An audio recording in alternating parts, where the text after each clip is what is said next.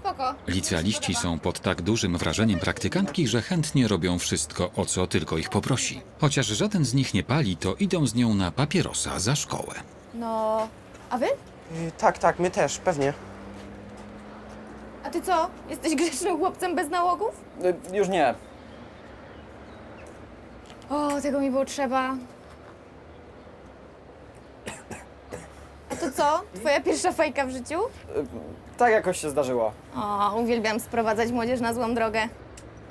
A my uwielbiamy być na nią sprowadzani. Jesteśmy bardzo niegrzeczną młodzieżą. A ty, przystojniaku? Też jesteś niegrzecznym chłopcem? Oczywiście. To mnie pocałuj. Ale tak tu i teraz? Tak, teraz. Stary, no jak zaraz tego nie zrobisz, to ja do niej podejdę i ją pocałuję. Też bym tak chciał. Super. A teraz muszę już lecieć. Ale czekaj, to koniec? To dopiero początek. Gdzie pijecie browary? No w sumie można się napić za szkołą. To przynieście na jutro. Zrobimy sobie imprezkę.